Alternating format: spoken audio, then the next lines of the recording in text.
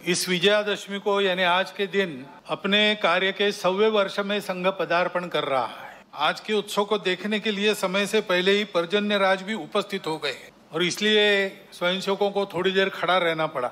विशेष महत्व का वर्ष इसलिए भी है, पिछले वर्ष इसी पर्व पर हमने महारानी दुर्गावती जी का स्मरण किया था, उनके गुणों के लिए। ऐसा ही दूसरा एक सच्चरित्र पुण्य श्लोक अहिल्याबाई होलकर उनकी ये 320 जन्म जयंती चल रही है। एक उत्कृष्ट राज्यकर्ता जिसकी शील संपन्नता का आदर्श सबके सामने हो, ऐसे एक महिला अत्यंत विपरीत परिस्थिति में राज्य चलाती है, रणनीति के कौशल का परिचय देती है, अपने राज्यों को संभालती ही है, परंतु अखिल भारतीय दृष्टि होने के कारण सारे देश में धर्म संस्कृति का उत्थान हो।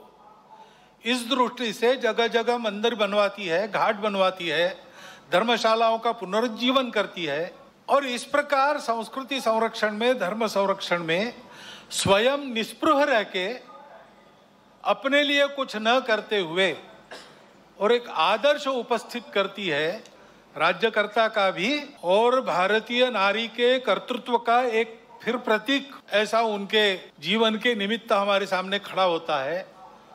उनका हम स्मरण करते हैं। ऐसे ही स्वामी महर्षि दयानंद सरस्वती का दो सौवा जन्म जयंती का वर्ष चल रहा है। हम जानते हैं कि लंबी गुलामी के बाद भारत का जो पुनरुत्थान शुरू हुआ, उस पुनरुत्थान के पीछे जो शक्तियाँ थी, उनमें से एक स्वामी दयानंद सरस्वती है।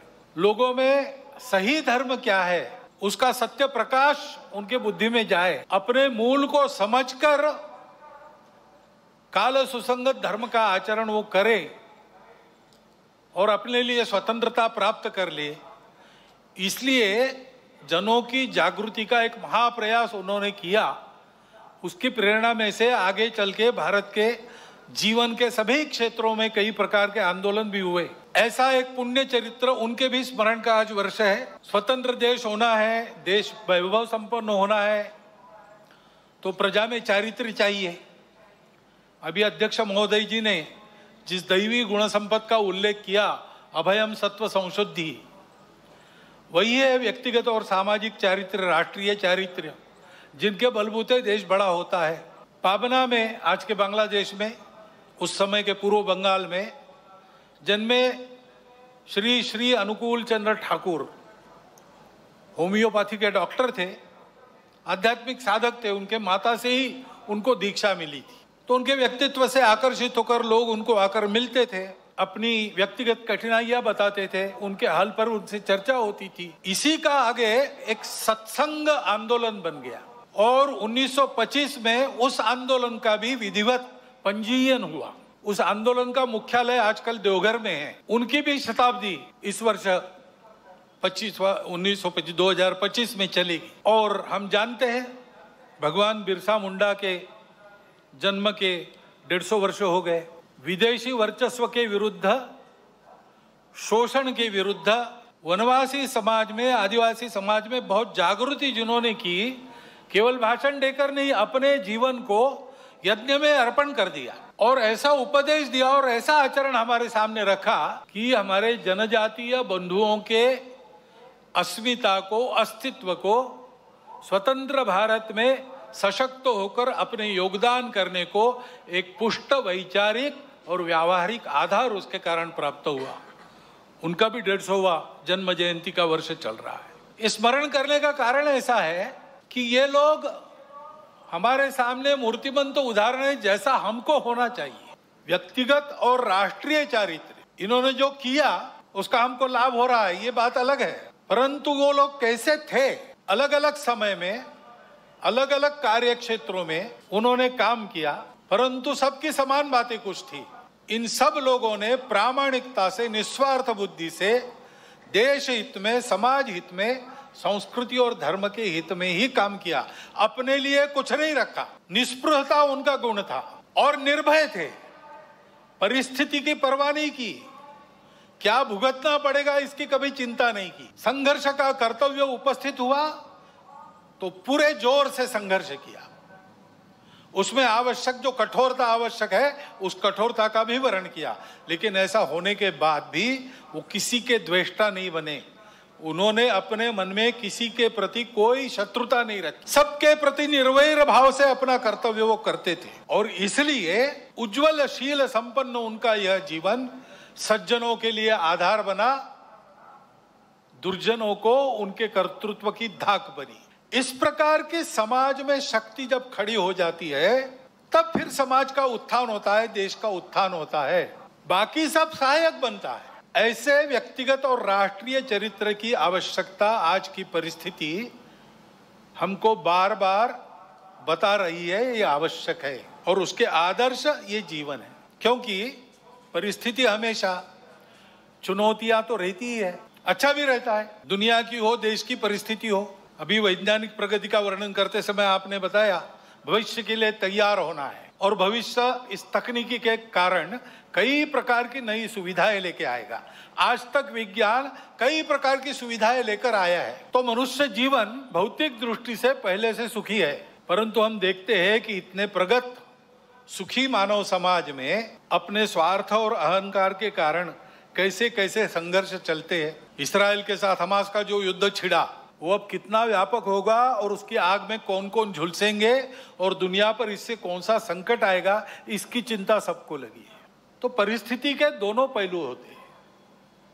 अपने देश का जब विचार करते तब भी अपना देश आगे बढ़ रहा है। टेक्नोलॉजी के क्षेत्र में, शिक्षा के क्षेत्र में अतिथि महोदय ने वर्णन कर दिया है। बहुत नपे तुले शब्दों में पूरा चित्र आपके सामने आया है। ऐसे सब क्षेत्रों में भारत आगे बढ़ रहा है।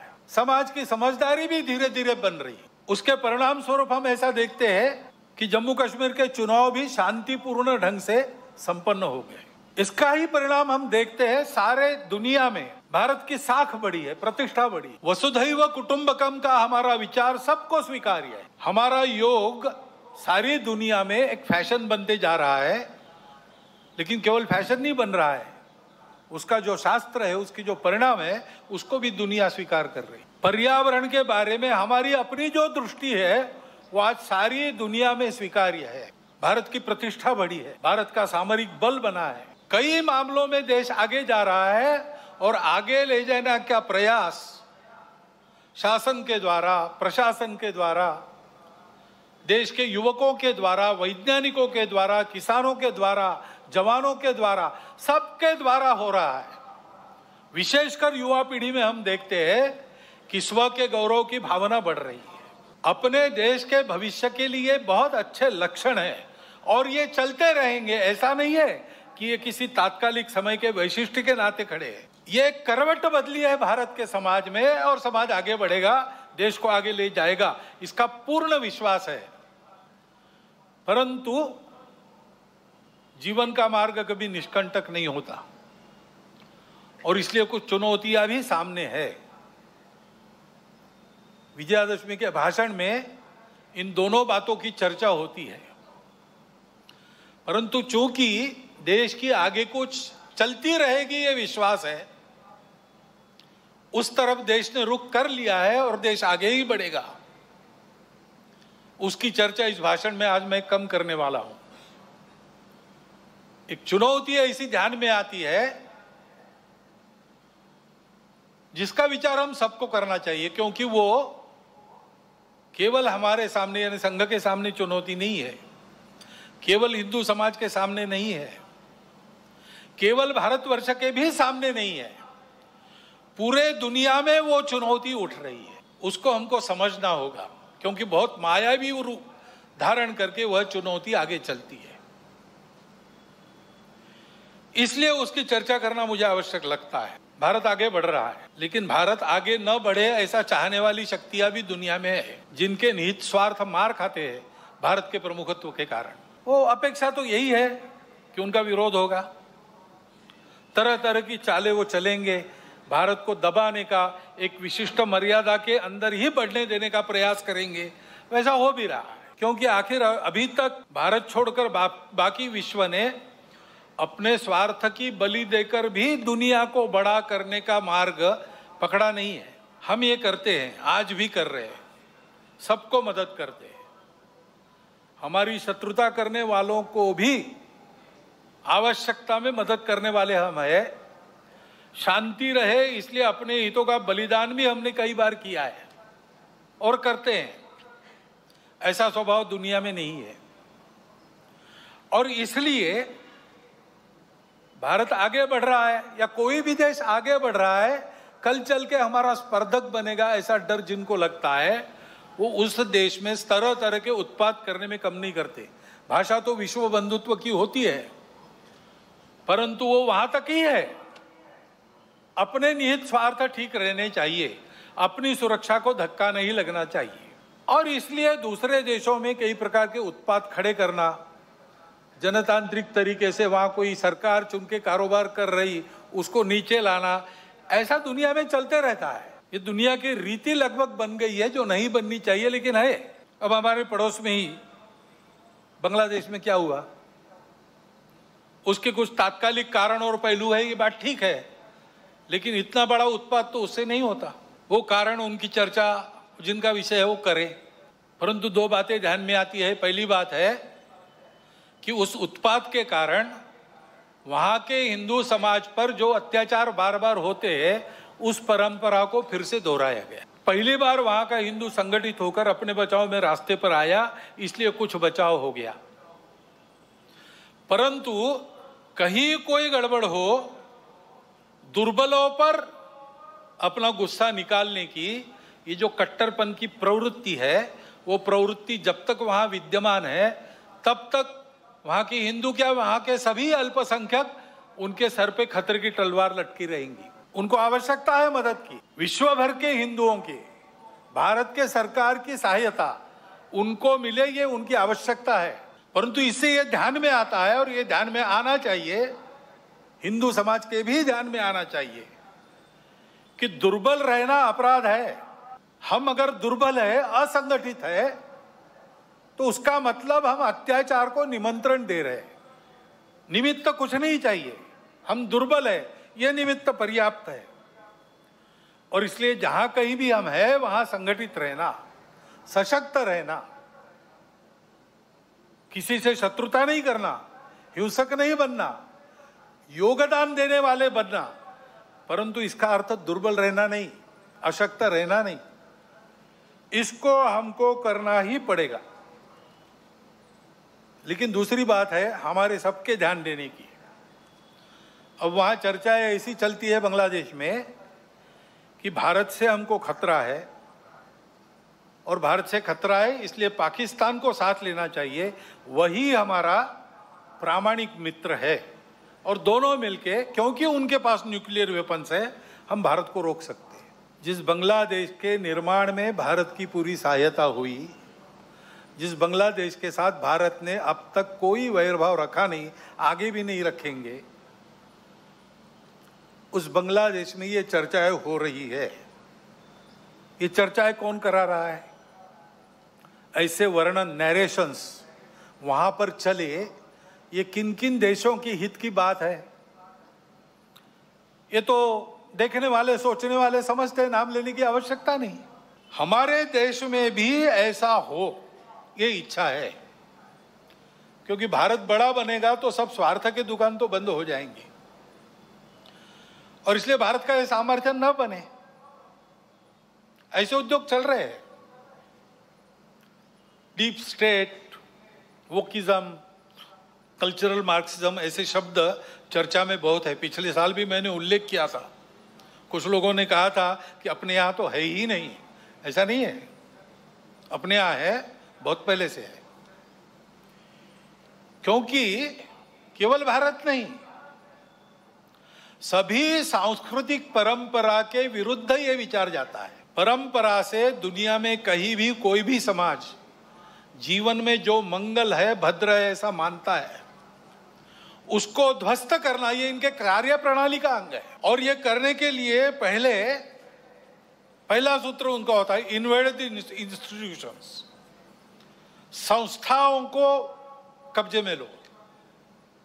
शिक्षा संस्थान है, विद्यापीठ है, शिक्षा व्यवस्था है, माध्यम है, बौद्धिक जगत है, इन सब पर अपनी पकड़ कायम करके उनके द्वारा समाज में विचारों की विकृति का प्रसार करना, विचारों को बिगड़ना। अपनी परंपरा के प्रति, अपने स्वत्व के प्रति अश्रद्धा से उत्पन्न करना। हम ही अपने लोगों को गाली दे, हम ही अपने बातों को तुच्छ माने, उनकी लज्जा करें। इस प्रकार का वातावरण पैदा करना। इतना बड़ा समाज है, उसकी कई विविधताएँ हैं। उन विविधताओं को अलगाव में परिवर्तित करना। नहीं है वहाँ कोई ज़बरदस्ती विविधता आरोपित करके, हम विविध है, इसलिए हम अलग है।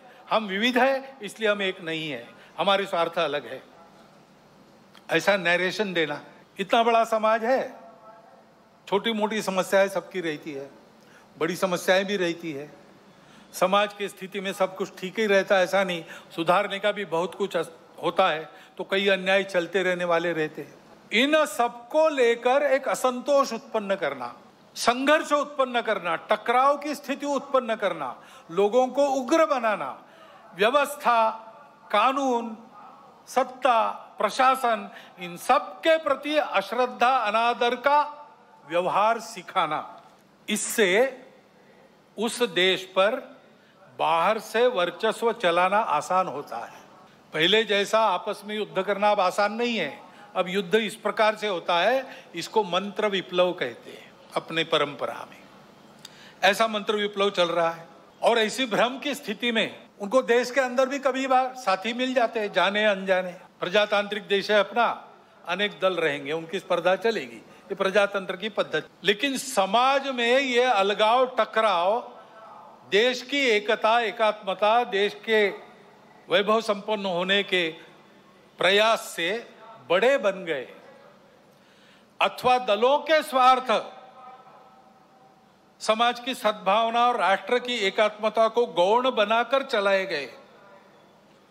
तो फिर किसी एक का पक्ष लेके उनके पीछे खड़ा रहना, खुद मैदान में नहीं आना। अल्टरनेट पॉलिटिक्स, ऐसा कहते हैं, पर्यायी राजनीति। उसके आड़ में अपना ये एजेंडा और ये पद्धतियाँ चलाती है। और ये मैं कोई कॉन्स्पिरसी थियरी नहीं बता रहा हूँ। पुस्तकें निकल रही है पाश्चात्य देशों से वहाँ की परिस्थिति के बारे में। पाश्चात्य जगत के अनेक प्रगत देशों में इस मंत्र विप्लव के परिणाम स्वरूप जीवन की स्थिरता, शांति और मांगल्य संकट में पड़ा हुआ उनको अनुभव होता है, हमको भी दिखाई देता है। भारत के चारों ओर विशेषकर सीमावर्ती प्रांतों में इस प्रकार के कारस्थानों के चल, के चलते क्या क्या हो रहा है, हम देख सकते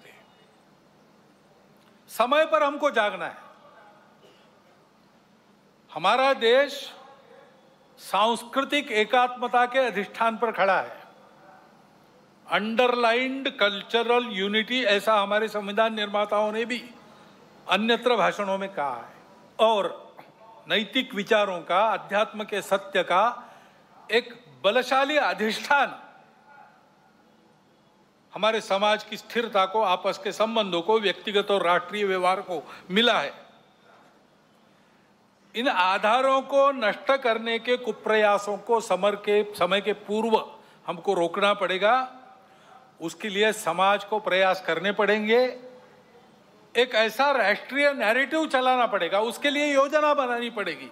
कानून संविधान की मर्यादा में रहते हुए, अपने सांस्कृतिक अधिष्ठान पर पक्का रहते हुए हमको इसकी योजना बनानी पड़ेगी। समाज को सुरक्षित रखने के लिए इसी का उपयोग होगा। संस्कारों का क्षरण इन विभेदकारी ताकतों को पुष्ट करता है। और वो बलवान होती है तो वो भी संस्कारों के क्षरण का कारण बनती है। और हम देख रहे हैं कि भारतवर्ष में इस प्रकार का मनोवचन कर्मों पर कुप्रभाव निर्माण हो रहा है। क्योंकि अब कोई बात छिपी रहती नहीं, मीडिया सर्वत्र पहुँचता है। बड़ों के साथ बच्चों के हाथ में भी मोबाइल है। मोबाइल पर वो क्या देख रहे हैं, उनको क्या दिखाया जा रहा है, इस पर कोई नियंत्रण नहीं है। घर में क्या देखना, नहीं देखना, इस प्रकार का विवेक नहीं मिल रहा है। ऐसी स्थिति में घर परिवारों में ये नियंत्रण स्थापित करना और अपनी विधि व्यवस्था में भी इसके व्यवस्था के लिए कोई इसके नियंत्रण के लिए कानून बनना इसकी आवश्यकता है, क्योंकि इन संस्कार भ्रष्टता के कई प्रकार के कुपरिणाम है। ये विवेक न होने के कारण कई जगह नई पीढ़ी नशीली नशीली दवाओं की आदतों में खोखली होती चली जा रही है। कहीं पर दिखता है, कहीं पर नहीं दिखता है। कहीं कहीं पर ऐसा भी हो गया है कि कोई नशीली दवा जो नहीं लेता, उसको पिछड़ा माना जाता है। इस प्रकार का वातावरण भी उत्पन्न हो रहा है। और हम देखते हैं कि हमारे देश की परंपरा क्या है, हमारा देश कैसा है। एक द्रौपदी के वस्त्र को हाथ लगा, महाभारत हो गया। एक सीता का हरण हो गया, रामायण हो गया। यहाँ पर कैसी घटनाएँ घट रही है? अब कलकत्ता में जो हुआ अर्जीकर अस्पताल में, लज्जाजनक घटनाएँ, हम सबको कलंकित करने वाली घटना, और ये एक नहीं है। घटनाएँ होती है, उसका नियंत्रण वगैरह करना, जैसे वहाँ खड़े हो गए समाज के सब लोग, डॉक्टर लोगों के साथ। घटना होने ही नहीं देना, इसलिए चौकन्ना रहना चाहिए। सुरक्षा देनी चाहिए। परंतु होने के बाद भी वहाँ जिस प्रकार से टालम टाल का प्रयास हुआ, अपराधियों को संरक्षण देने का प्रयास हुआ, ये जो अपसंस्कृति पहली है, उसके साथ अपराध और राजनीति का जो गठबंधन हो गया है, उसके ये परिणाम है। हमारी सांस्कृतिक देन है ये दृष्टि। जो कहती है मातृवत परदारेश। पराई स्त्री माता समान है। जिनसे प्रबोधन प्राप्त होता है, परिवार में, अपने परिवार के जनों से प्राप्त होता है। और माध्यमों के द्वारा जाने अनजाने समाज इनसे ग्रहण करता है। वहाँ यह भान रहना चाहिए कि हम क्या परोस रहे। वहाँ अगर इसका भान नहीं रहा, इन मूल्यों का तिरस्कार हुआ, अपेक्षा, ये उपेक्षा हो गई। तो फिर वो महँगा पड़ेगा। और इसलिए वहाँ पर इसका भान रहे और मूल्यों का प्रबोधन हो, इसके लिए हमको व्यवस्था करनी पड़ेगी।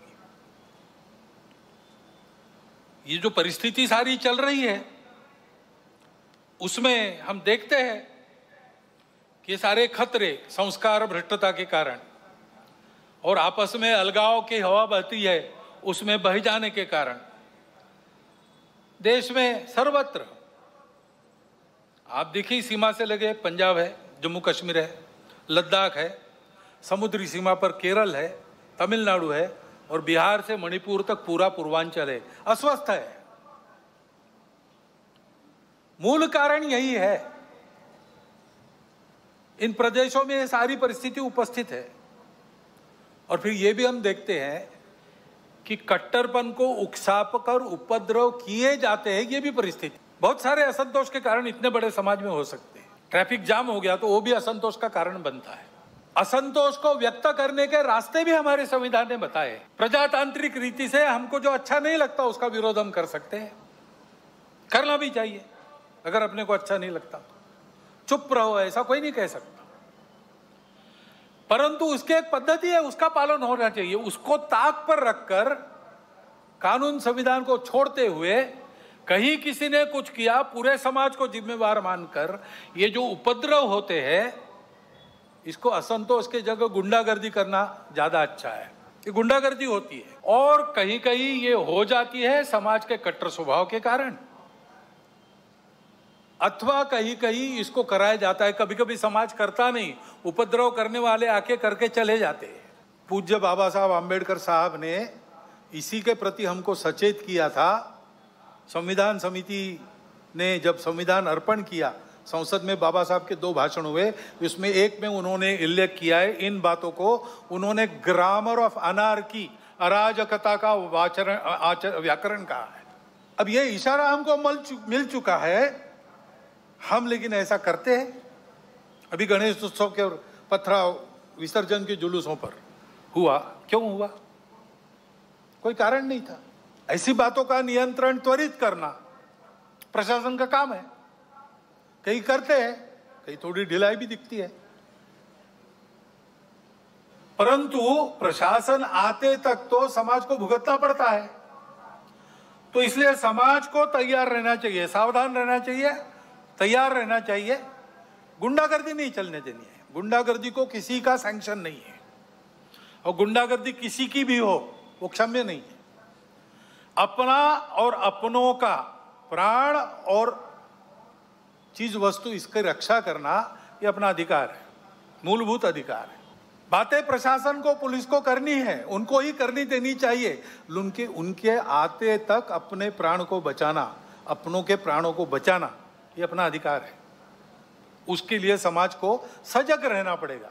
सजगता से होगा ही नहीं। हो गया तो सन्नद्ध भी रहना पड़ सकता मैं वर्णन सारा किसी को लड़ाने के लिए नहीं कर रहा हूँ। डराने के लिए भी नहीं कर रहा हूँ। ये परिस्थिति है। दूसरी भी है। अच्छी परिस्थिति भी है। अच्छी बातें भी हो रही। हमको इस परिस्थिति में से जाना है। और इसलिए, क्योंकि हम सबकी इच्छा है, अपना देश एकात्म हो सारे झगड़े समाप्त हो, अपना देश बड़ा बने, सबकी इच्छा है, सबका कर्तव्य भी है। और इसलिए समाज की एक विशिष्ट प्रकार की स्थिति चाहिए, विशिष्ट दिशा में प्रयासों की आवश्यकता रहती है। समाज स्वयं जगता है, अपना पुरुषार्थ करता है, तब महापुरुष, संगठन, संस्थाएँ, प्रशासन, शासन, ये सब सहाय्य कार्य होते हैं। समाज की स्वस्थ स्थिति से सारे उपद्रव टल जाते हैं। जैसे इम्यूनिटी कम होने के बाद रोग आते हैं। स्वस्थ अवस्था शरीर की ढलती है, बीमारियाँ बाद में घेरती है। और बीमारियाँ भी स्वस्थता को नष्ट करती है। और इसलिए यह स्वस्थ अवस्था समाज की सशक्त अवस्था, यानी समाज की संगठित अवस्था है। समाज को सशक्त रहना चाहिए, संगठित रहना चाहिए। क्योंकि दुर्बलों की परवाह देव भी नहीं कहते, करते। अश्वम नैव, गजम नैव, व्याघ्रम नैव च नैव च। बलि किसकी देनी? यज्ञ में। चर्चा हुई, कहते हैं, क्या घोड़े की? नहीं, वो तो लात मारेगा। हाथी? नहीं, बहुत बड़ा है। शेर? नहीं बाबा, वो तो बिल्कुल नहीं। फिर किसको? तो बकरे को काटो। कुछ नहीं कर सकता। देवो दुर्बल घातका और इसलिए इस स्वस्थता को, संगठित को उत्पन्न करने के लिए, संपूर्ण समाज में कुछ विषय हम शताब्दी वर्ष के पश्चात ले जाएँगे। अभी सवा साल शुरू हुआ है, वो पूरा होगा 1925 में। उसके बाद साल भर शताब्दी वर्ष का कुछ चलेगा। उसके बाद समाज में हम विषय लेने जाने वाले हैं। समाज के स्वस्थ स्थिति की पहली शर्त है सामाजिक समरसता और सद्भावना। इसके बिना संगठन संभव नहीं। और इसलिए इन बातों को ले जाना है। लेकिन ये बात ले जानी है कार्यक्रम ले जाने से नहीं होता। कुछ प्रतीकात्मक कार्यक्रम कर लिए तो समरसता सद्भावना नहीं आती। व्यक्तिगत स्तर पर, पारिवारिक स्तर पर काम करना पड़ता है। समाज के सभी वर्गों में व्यक्तियों की और कुटुंबों की मित्रता होनी चाहिए। मैं जितने दायरे में घूमता हूँ काम करता हूँ, वहाँ के सब प्रकार के रहने वालों में मेरे मित्र होने चाहिए। मेरे परिवार के मित्र कुटुंब, वहाँ सब प्रकार के रहने वालों में होने चाहिए। भाषा विविध है, पंथ संप्रदाय विविध है खान पान रीति रिवाज सब अलग अलग होने के बाद भी ये कुटुंबों की और व्यक्तियों की मित्रता यही समाज में समरसता लाती है। प्रबोधन करने के लिए बाकी सब काम आता है। आचरण करने के लिए ये प्रत्यक्ष मित्रता चाहिए। और जहाँ जहाँ लोगों को समझाना संभव है, अपना इतना अपनी इतनी साख है, वहाँ समझा के पर्व त्योहार सबके होने चाहिए। ये विषमता इतनी विचित्र हो गई कि हमने अपने संतों को, देवों को, सबको बांट लिया। वाल्मीकि जयंती वाल्मीकि बस्ती में ही क्यों होना? क्यों हो? वाल्मीकि ने रामायण तो पूरे हिंदू समाज के लिए लिखा। तो भगवान वाल्मीकि की जयंती सब मिलके मनाए, भगवान रविदास की जयंती सब मिलके मनाए, सारे पर्व त्योहार मिलके पूरा हिंदू समाज करे। सहभागी हो। बाहर से सहभागी हो, अंदर जाकर सहभागी हो। ये सहभागिता चाहिए। और समाज के श्रद्धा के या उपयोग के जो केंद्र होते हैं, मंदिर है, पानी है, स्मशान है, वो सबके लिए खुले चाहिए, ऐसा वातावरण चाहिए। ये हमको करना पड़ेगा, इसको लेकर हम समाज में जाएँगे। अपने समाज में अनेक जाति वर्ग है।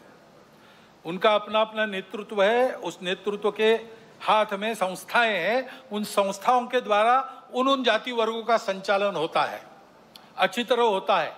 ये सब जाति वर्गों के जो मुखिया लोग हैं, वो अगर नीचे खंड स्तर तक, ब्लॉक स्तर पर एकत्रित आए और आपस में बताए कि अपने जाति के उत्थान के लिए उनको समय के हिसाब से ठीक प्रकार का प्रबोधन क्या क्या खतरे हैं समाज जीवन में उससे अपने आप को कैसे बचाना, इसके बारे में जानकारी। देश दुनिया में क्या चल रहा है, इसकी जानकारी। ये हम अपने समाज में कैसे देते हैं, उनका जीवन अधिक उन्नत हो, अधिक संस्कार वाला हो, भौतिक दृष्टि से सुखी हो क्या क्या कर रहे हैं? आपस में शेयर करना, बताना। कल्पनाएँ मिलती है अन्य लोगों को प्रयास करने के लिए। लेकिन इनके साथ और दो विषयों की चर्चा करना। अपने अपने जाति वर्ग के लिए हम ये सब कर रहे हैं, बहुत अच्छी बात है। परंतु हम सब मिलकर अपने उस खंड में समाज की कौन सी एक समस्या है जो हम उठाकर अपने बलबूते उसको ठीक कर सकते पूरे समाज की कोई समस्या। हर दो महीने बैठते तो दो महीने में एक कोई समस्या उठाकर उसको ठीक करना। सबने मिलकर तय करना, इसको हम हाथ लगाएँगे, इसको हम ठीक करेंगे। और दूसरा ये तय करना कि हम सब जाति वर्ग यहाँ रहते हम मिल रहे हैं, वो हम जो दुर्बल जाति है, उसके लिए हम सब मिलकर क्या कर सकते ऐसी एक बैठक में मैं था। वह वाल्मीकि बंधु थे। उन्होंने खड़े होकर बताई अपनी समस्या। हमारे बच्चों के लिए विद्यालय नहीं है, सरकारी विद्यालय चलता नहीं है, प्राइवेट विद्यालय हमको पुराता नहीं है। बच्चे कहाँ पढ़े? तो वहाँ राजपूत समाज के लोग बैठे थे, खड़े हो गए। उन्होंने कहा, आपकी बस्ती तो हमारी बस्ती को लगकर है। उनका, है। तो हमारा स्कूल है। बीस प्रतिशत लोगों को हम लेंगे, बिना फ़ीस के पढ़ाएँगे। और वो काम शुरू हो गया। समाज में विभिन्न जाति वर्गों के लोग बैठकर नियमित इन तीन विषयों का विचार अगर करते हैं तो समाज में सद्भावना नहीं रहेगी तो क्या रहेगा? और कौन उस सद्भावना को तोड़ सकेगा? क्योंकि सब जानते हैं कि हम अपना भी विचार करते हैं, सबका भी विचार करते हैं। हम सब एक दूसरे से लगे हैं। हमारे संबंध है। ये करना पड़ेगा। इस बात को लेकर हम जाएँगे और हम आए, इसकी राह देखने की आवश्यकता नहीं। जहाँ हो सकता है, वहाँ शुरू होना चाहिए। दूसरा विषय सामने आता है, जागतिक समस्या है, पर्यावरण की। सारी दुनिया त्रस्त है। एक बड़ा प्रश्न चिन्ह चिंतकों के सामने है, सृष्टि रहेगी कि नहीं रहेगी? और अपने देश में भी उसका अनुभव हो रहा है। हम देखते हैं, हमारे यहाँ पर तरह तरह के उत्पाद हो गए, ऋतु विचित्र बन गई। कभी भी आती है, और जब आती है, तब फूट पड़ती है। वर्षा नहीं होगी नहीं होगी तो मुँह तक में छाले पड़ जाएँगी इतनी गर्मी। और होगी, तब छालों सहित सबको बहा ले जाएँगी। ये विचित्र तीव्रता ऋतुओं की उत्पन्न हो गई है। ये सब होता है, इसका कारण क्या है? इसका कारण पर्यावरण के बारे में एक अधूरी दृष्टि पर चलना है। अब सारी दुनिया इसको अनुभव कर रही है, और इसलिए उस दृष्टि को बदलने का प्रयास भी सर्वत्र हो रहा है। अपने देश में भी उसकी बात तो हम करते हैं। परंतु उसी दृष्टि को लेकर हम भी चले। दुनिया का अंधानुसरण किया और इसलिए हम देखते हमारे यहाँ भी वो उत्पाद हो रहे हमारी ज़मीन विकृत हो गई, हमारा पानी अशुद्ध हो गया। हमारी वनस्पतियों में केमिकल्स आ गए, उसके कारण बीमारियाँ बढ़ रही है। ऋतु ऐसे बन गए हैं, जंगल कट गए, हरियाली नष्ट हो गई, नदियाँ सूख गई, अन्न, जल, वायु, धरती सब विषाक्त हो गए। पर्वत ढहते हैं, भूमि फटती है। पिछले दो वर्षों के समाचार देखिए। तो इस विचार को बदल के हमको अपने विकास पथ को सही जो अपना परंपरागत पूर्ण विचार है, जो पर्यावरण के प्रति कृतज्ञता रखता है, मित्रता रखता है, उसके आधार पर कई प्रकार की अपनी पद्धतियाँ। पर्यावरण को पुष्ट करने वाली पद्धतियाँ है, मनुष्य जीवन को सुखी ढंग से चलाते हुए। जैसे जैविक कृषि है। दस हज़ार साल की खेती है हमारे देश में, ज़मीन अभी भी दे रही, उर्वर है। रासायनिक खेती हुई 200 साल में भूमि बंजड़ बन गई। अब कई जगह भूमि को तीन तीन, चार चार, दस दस साल विश्राम देना पड़ता है, उसमें तरह तरह के जैविक खाद डालने पड़ते, तब कृषि योग्य बनती है, ऐसी स्थितियाँ। हमारे देश में भी कहीं कहीं हो गया है। हमको अपने विचार के आधार पर अपना विकास पथ बनाना पड़ेगा और नीति उस प्रकार बनानी पड़ेगी। उसका कोई पर्याय नहीं है। परंतु इसके लिए विचार बनना चाहिए। सारे देश में एक समान वैचारिक भूमिका बनानी पड़ेगी। उस भूमिका का क्रियान्वयन करना है तो देश में भी इतनी विविधता है तो क्रियान्वयन की पद्धति विकेंद्रित बनानी पड़ेगी। इसको करने में समय लगेगा। तो तब तब तक रुकने की आवश्यकता नहीं। अपने घर से हम प्रारंभ कर सकते। तीन तीन छोटी चीज़ें करना।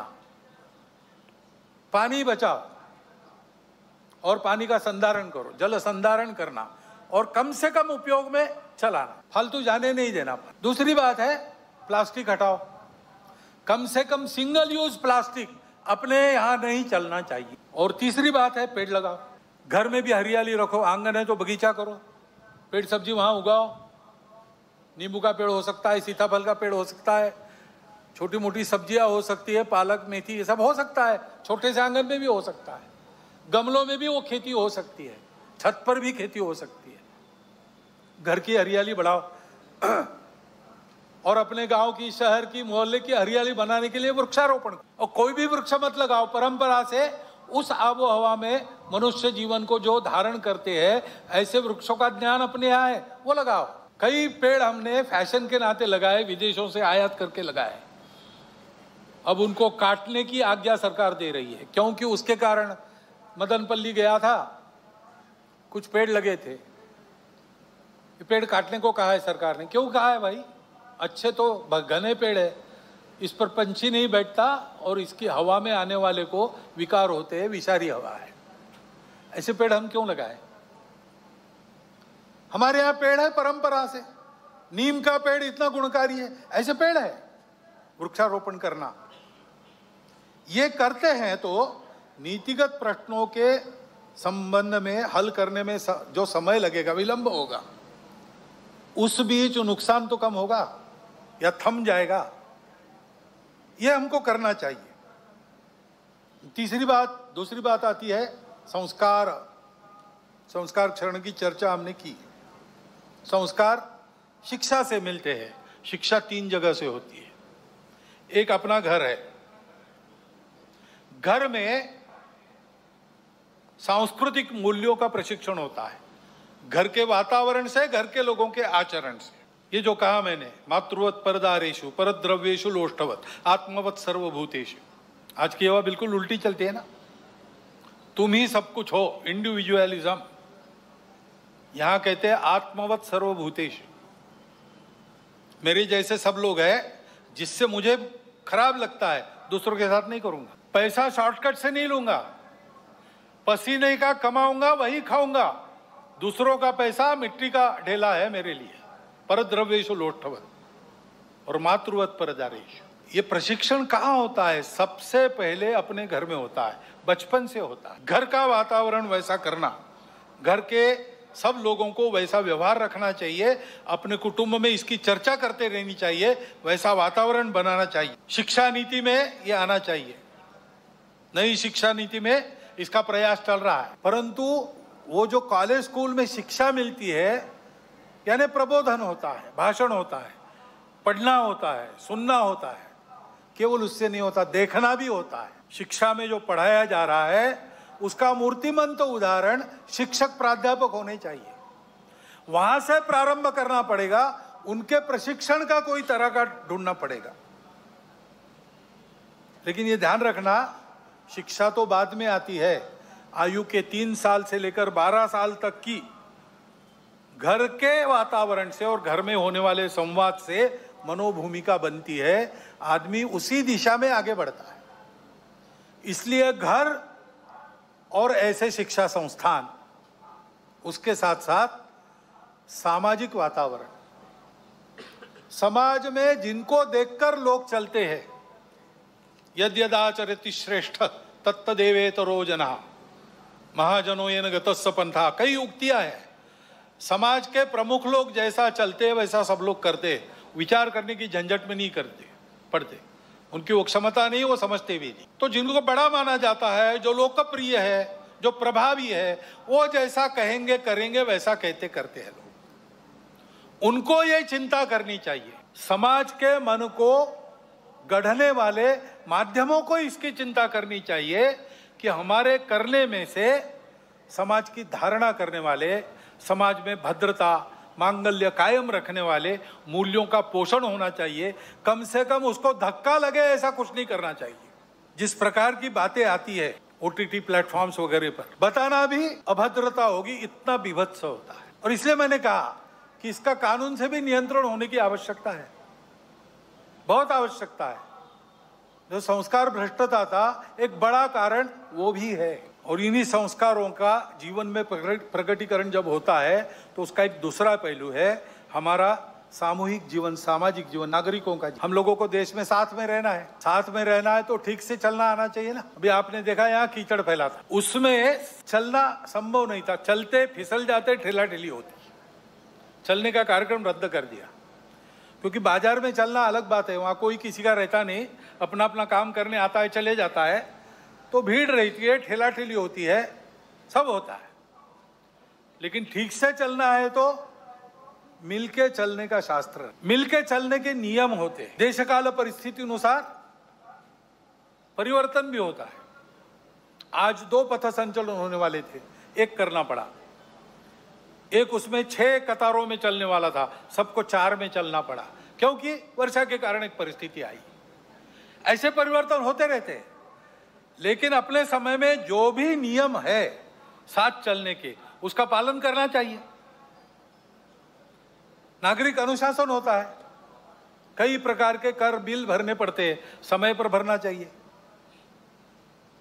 दीनदयाल जी ट्रेन में जा रहे थे। ट्रांजिस्टर बंद कर दिया। सामने वाले को कहा कि आपके पास ट्रांजिस्टर लगाओ। मुझे वार्ता, न्यूज़ सुननी है। सामने वाले ने कहा, अभी तो आपने बंद किया आपका। तो मैंने इसलिए बंद किया कि अभी इसका लाइसेंस रिन्यू करना बाकी है। अभी इसका लाइसेंस समाप्त हो गया। रिन्यू करने के बाद मैं लगाऊँगा। तब तक कृपया आपका दीजिए। दीनदयाल जी बड़े व्यक्ति थे, नेता थे, भारतीय जनसंघ के अध्यक्ष थे। वो ये नहीं करते तो उनको कोई कुछ कहता नहीं, लेकिन उन्होंने इसका ध्यान रखा।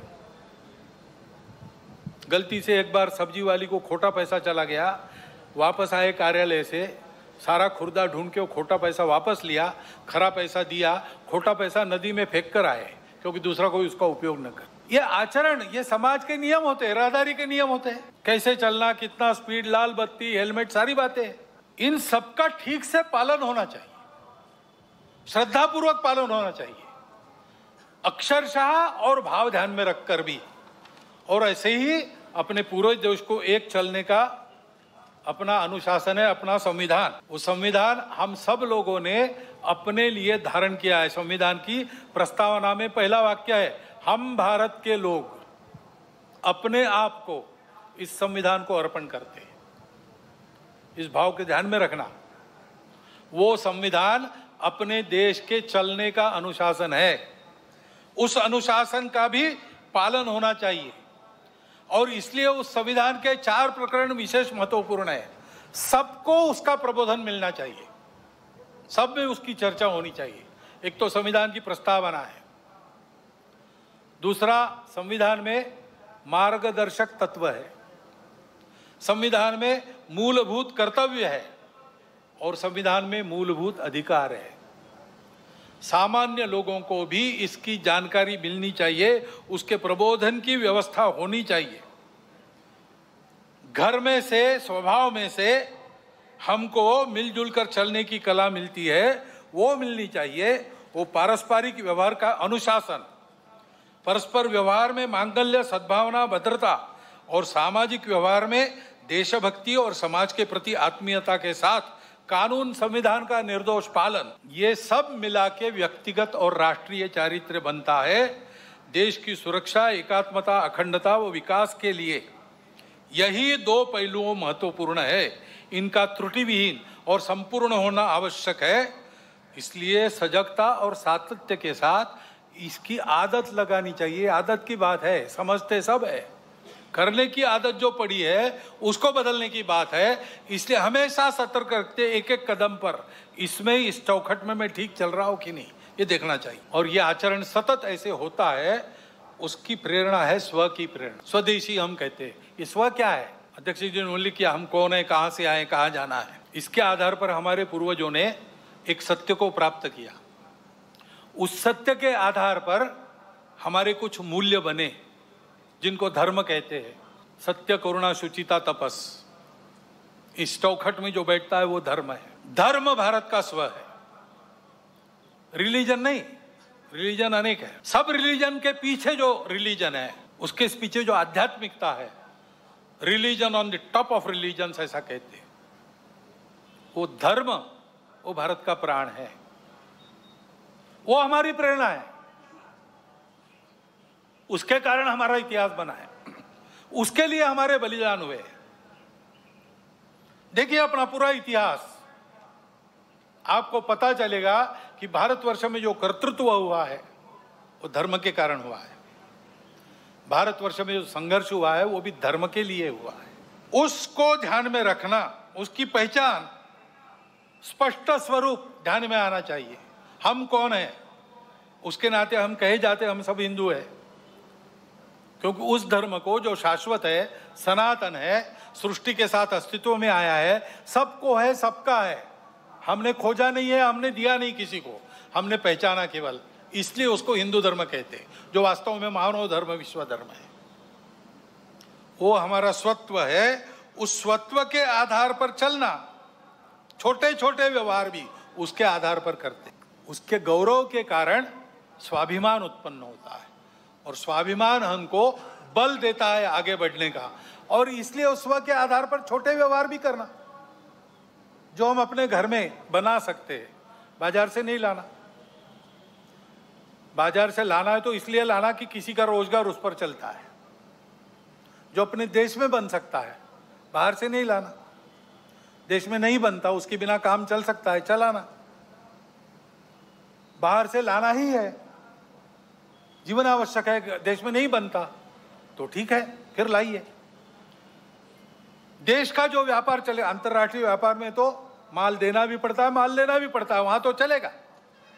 लेकिन वहाँ अपनी आवश्यकता के अनुसार अपनी शर्तों पर हम खरीदेंगे। सौदा पटेगा तब लेंगे, दबाव में नहीं करेंगे।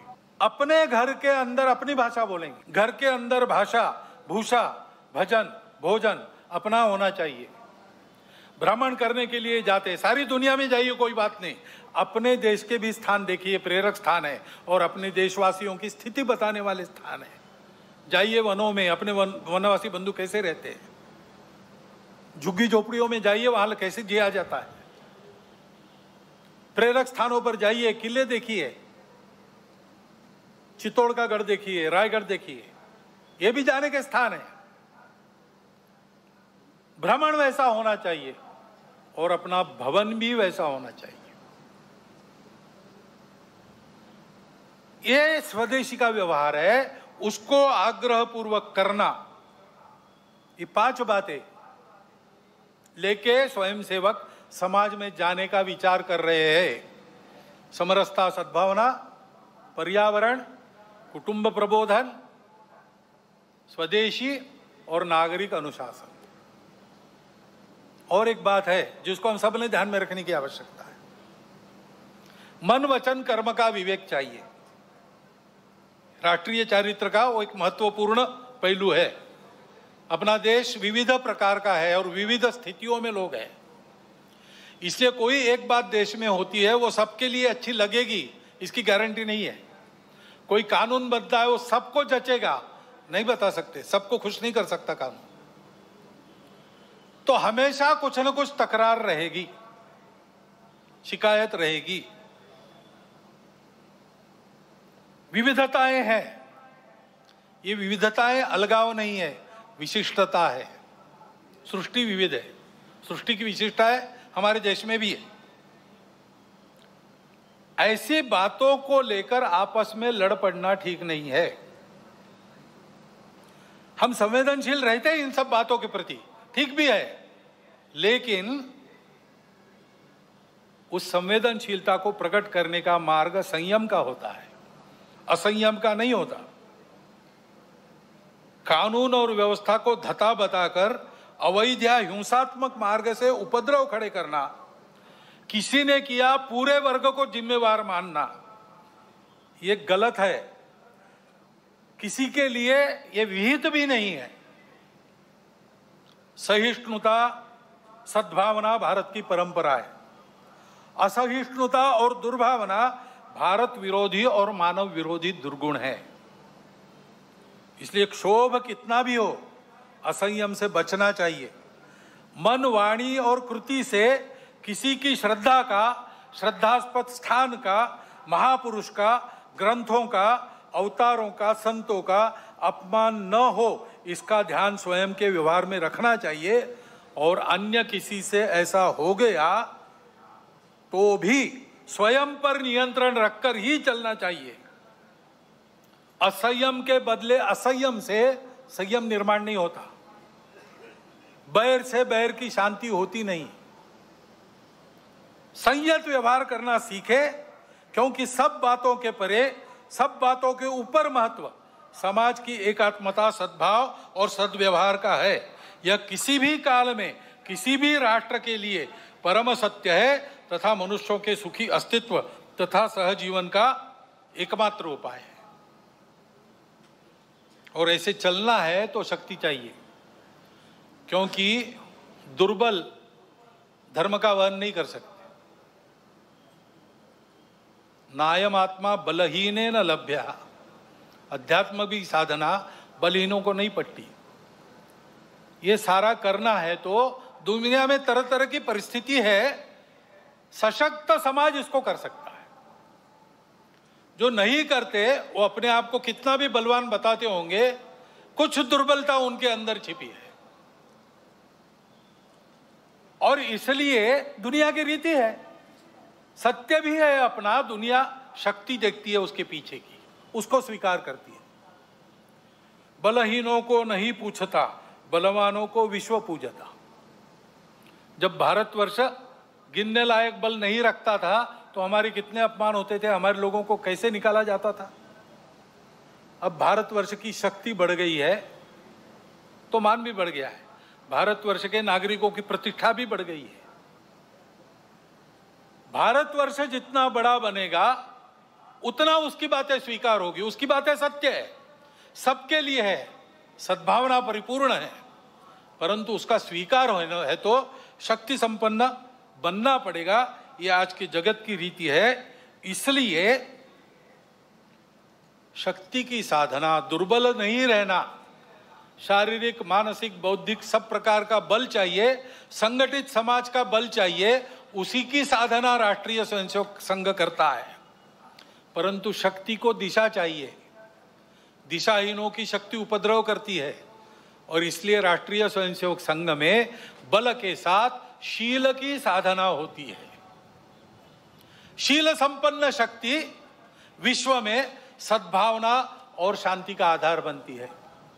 साधना ही मुक्ति का शुभ द्वार है, शक्ति ही तो शांति का आधार है। लेकिन ये शक्ति शील संपन्न होनी चाहिए, इसलिए प्रार्थना आपने सुनी। अजय्यांच विश्वस्य देश शक्ति अजय्य शक्ति जिसको कोई परास्त न कर सकते, ऐसा ही है। लेकिन तुरंत कहा, सुशीलम जगत ये न नम्रम भवेत। ऐसा शील चाहिए, जिसके सामने आदर पूर्वक सारा जगत नम्र हो। भारत में ये जो चुनौती है, सारे विश्व पर जो है, संपूर्ण विश्व का, विश्व की व्यवस्था मांगल्य नष्ट करके अपने स्वार्थी दाव की पकड़ में विश्व को रखना चाहने वाले लोग जो कर रहे हैं और अपने स्वार्थ के लिए उनको साथ दे रहे वो चुनौतियाँ उपस्थित करेंगे। उसमें से हमको आगे बढ़ना है, निर्भय निर्भय होकर इसलिए शील संपन्न व्यवहार के साथ शक्ति साधना महत्वपूर्ण है। आज का पर्व भी ऐसा ही है। देवों ने सबने अपनी अपनी शक्तियाँ एकत्रित कर दी। नवरात्र जागरण किया उसके लिए। उसमें से चिन्मयी जगदम्बा प्रकट हुई और उसके प्रकट होने से असुरों का निर्दालन हो गया, सज्जनों का कल्याण हो गया और विश्व का कल्याण हुआ। इस विश्व मंगल साधना के मौन पुजारी के नाते संग लगा है। सबको यही साधना अपने परम पवित्र मातृभूमि को परम वैभव संपन्न बनाने की शक्ति व सफलता प्रदान करेगी। और इस साधना को देखकर दुनिया के बाकी देश भी इसी प्रकार की साधना उनके संदर्भ में उनके देश में करेंगे। और सब ऐसे हो जाएँगे, विश्व के जीवन में अपने देश को सामर्थ्य संपन्न, वैभव संपन्न बनाकर सब देश विश्व में योगदान करेंगे। यह स्थिति इसी रास्ते से आएगी। ऐसी यह साधना है, सुख शांति सद्भावना युक्त विश्व को बनाने की साधना करने वाला, भारत बनाने की यह साधना है। इस साधना में आप सबको मैं निमंत्रित करता हूँ और इन पंक्तियों के साथ अपने वाणी को विराम देता हूँ। हिंदू भूमि का कण कण होकर शक्ति का अवतार उठे जल थल से अंबर से फिर अब हिंदू की जय जयकार उठे जग जननी का जय जयकार उठे, भारत माता की जय।